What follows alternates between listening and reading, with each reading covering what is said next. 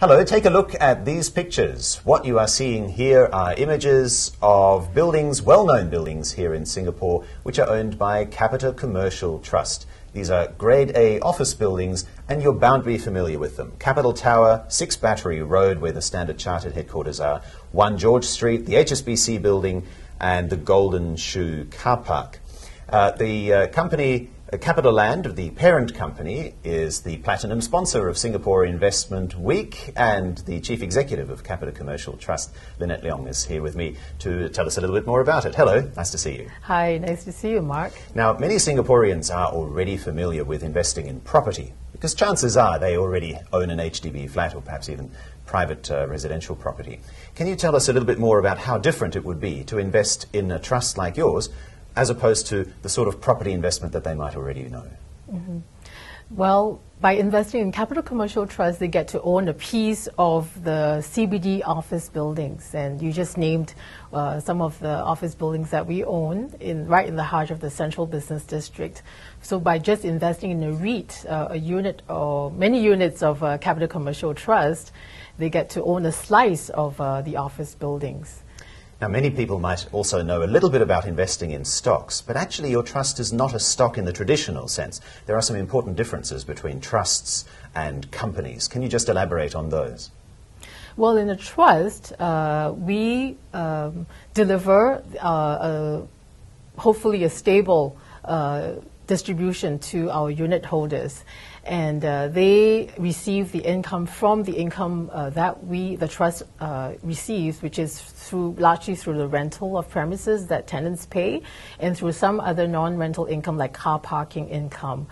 Uh, in addition to that, by owning a, a, unit in a REIT, they receive tax-free uh, distributions. And depending on uh, what kind of REIT they own, uh, they also receive a fairly high level of uh, distribution per unit, as high as in the case of a Capita Commercial Trust, uh, it's about 5.8% yield on, uh, say, if they bought the the units uh, just yesterday, then they will be receiving about 5.8% distribution.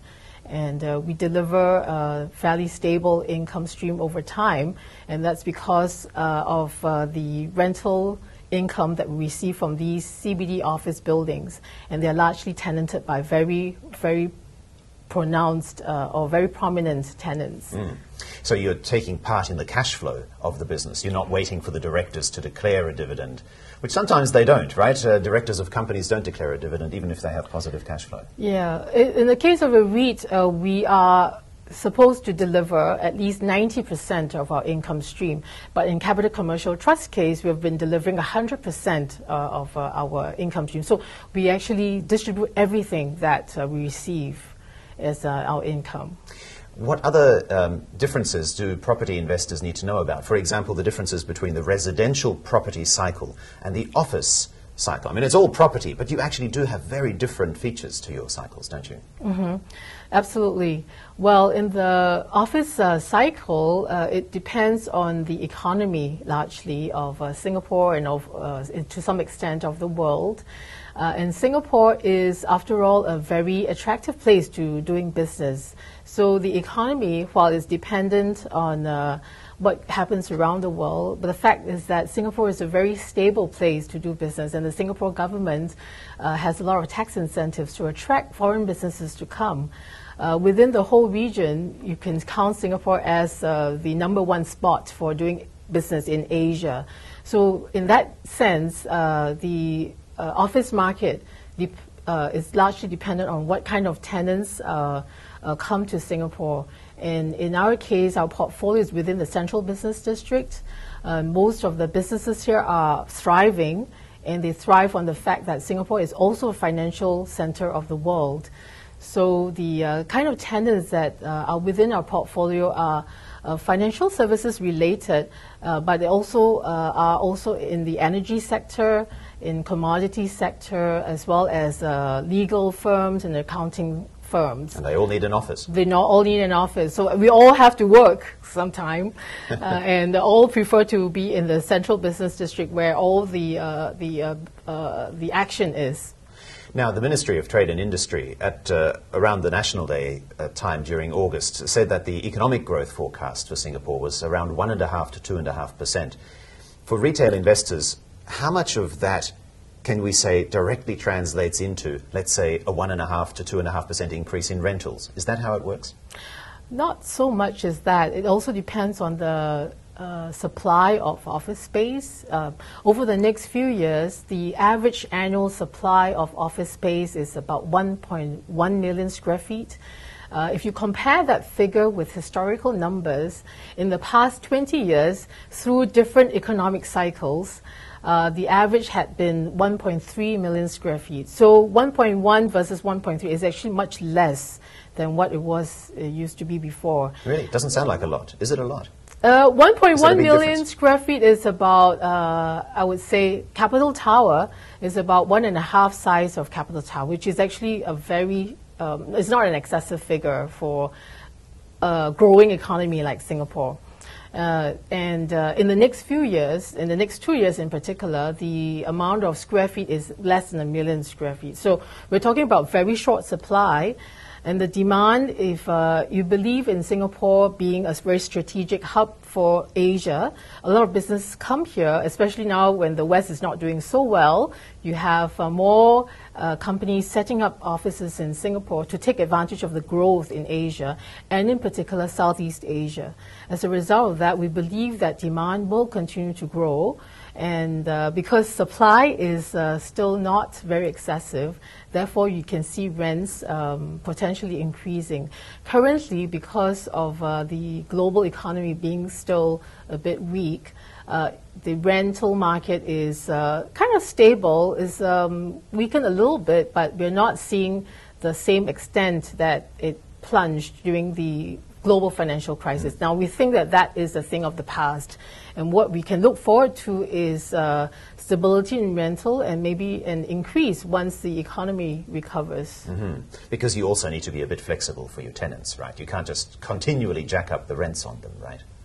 Well, the tenants basically sign a long term lease uh, from three to sometimes as long as 10 years, uh, some even longer. So that gives us a stability in rental income. At the same time, uh, within our portfolio, amongst our top 10 tenants, they contribute 46% of our income stream. So that gives stability. Now, these top 10 tenants are tenants like uh, government of uh, investment or corporation, uh, banks, very stable banks uh, such as HSBC, uh, JP Morgan. So we've got very uh, stable income stream from these large tenants. And then at the same time, for there are smaller tenants that also gives you us the stability in, in income. Is, is that, uh, are these fluctuations in the global economy then the reason why in the second quarter your gross revenue was down slightly, 1.5%? The gross revenue uh, declined as a result of uh, some of the negative rent reversions that has occurred in the last few years. Uh, negative because during the global financial crisis, rents actually plunged to uh, about uh, half, more than half of what they used to be. So some of these leases are still being renewed that were signed much earlier before the global financial crisis. So when the leases expire and renewed to today's market rent, there's a short, there's a shortfall. But having said that, if you look at our distribution per unit, which is usually what uh, REITs measure themselves against, uh, now, there has been an increase over the last uh, half year or year on year basis. We have seen a 5% increase. So revenue is just the top line figure. You should actually look at what the bottom line is and what we're delivering. And we've delivered an increase in the distribution per unit, or DPU for short. Right. One of the things you're currently doing is redeveloping the Market Street car park. The car park's been levelled. Uh, how soon before we see Capita Green come up in that place? Uh, we expect the completion to be end of 2014. Now, in that year, uh, there is no other grade A office building completing. So we should be able to capture the entire year's demand. And do you think you'll be able to make more out of an office building than you could out of a car park? Oh, it's a very popular car park, you know. absolutely. Now, just imagine the uh, as a car park, it was valued at fifty-six million dollars. And uh, as an office building, uh, we expect it to be valued uh, at at least 1.4 billion dollars. So imagine the amount of income that we can get from a 1.4 billion dollar property. Uh, a car park is uh, attractive, but we still have another car park within our portfolio, and that's the Golden Shoe Car Park. Uh, we have about a thousand lots there. In fact, uh, the waiting list is, you know, about 300 people. Right, all trying to get a season uh, car parking Season, and, and we have hourly parking as well. So we do have a good mix. Uh, we have very good quality offices, we have car park space, and we also have uh, some retail at Raffles City, uh, w- in which we own 60%. Uh, we also have hotel income from uh, Raffles City, uh, which has two uh, very prime uh, hotels, the Fairmont and the Swissôtel. And uh, in all, uh, our CCT's uh, portfolio consists of uh, uh, both hotel income, uh, office income, which is primary, and then some retail income. Final question then, and a question that retail investors might ask themselves about most real estate investment trusts, and that is why do so many of them trade below net asset value? If you've got something that's made of bricks and mortar, or concrete and steel these days, then why is it that they frequently trade at a discount to what they are actually worth? For example, the net asset value of uh, Capita Commercial Trust is more than $1.60.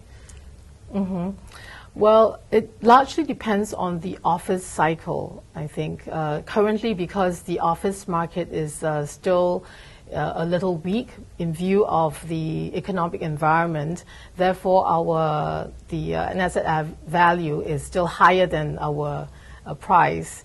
But that presents the opportunity. Now, if you look at our net asset value on a uh, look at it on a price per square foot basis, and if you just examine the office portfolio, because we do have car park income, and I take that out, it's just office alone, is it works out to about one thousand nine hundred and thirty-seven dollars per square foot. What, Now- what do we do with that number? Is that a good number? Now, if you think of it as uh, a portfolio of uh, very prime Grade A office buildings, $1,900 per square foot is actually a low figure. And you compare with what transactions have been uh, recently in the market, it's been in two the $2,600 per square foot range. So that presents the opportunity for an increase uh, when the market recovers. And that also shows that we are not excessive in our valuation. So if, uh, if any other, if uh, another crisis were to happen, which hopefully will not, then you know that there's a very little downside risk. But what you can look forward to is the upside when the market recovers. Thank you so much for coming in and talking to us It's a pleasure. Thank you for having me, Mark. Thank you again uh, from Capita Commercial Trust, the Chief Executive, Lynette Leong. Here are further details of Singapore Investment Week. The uh, URL for the website is appearing on your screen now, 25th to the 31st of August. And we leave you with pictures of Capita Commercial Trust. I'm Mark Laudi. Thanks for watching.